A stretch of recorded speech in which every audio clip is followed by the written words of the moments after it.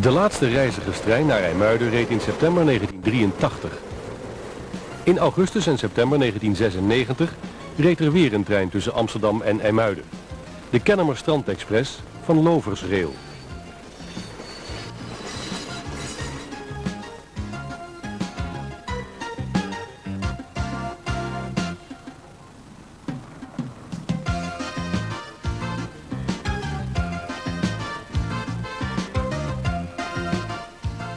Het is nog wel even improviseren in IJmuiden.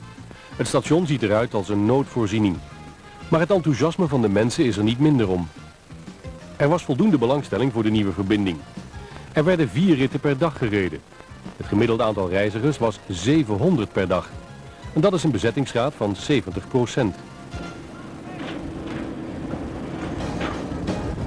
De locomotieven, dieselloks van de serie 2200, werden gehuurd van NS Cargo. De rijtuigen zijn gekocht van de Belgische spoorwegen. De vier M2-rijtuigen kregen een eigen loverskleurtje.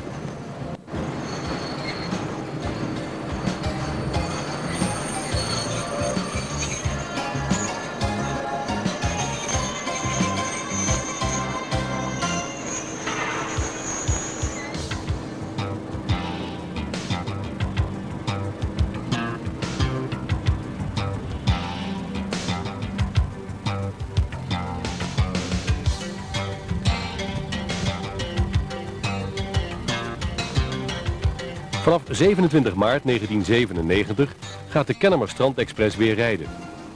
Het aantal ritten wordt uitgebreid. Van 8 uur s morgens tot 10 uur s avonds wil Lovers een uurdienst Amsterdam-IJmuiden gaan rijden. Er zullen wel andere locomotieven moeten komen, want de 2200 beschikken niet over treinverwarming.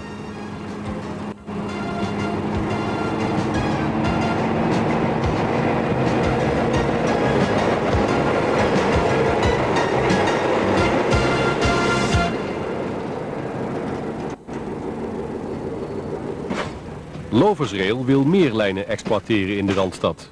Onder andere naar de Keukenhof. Ook de verbinding Hilversum-Amsterdam staat op het verlanglijstje van Lovers. Minister Jorritsma is nu aan zet.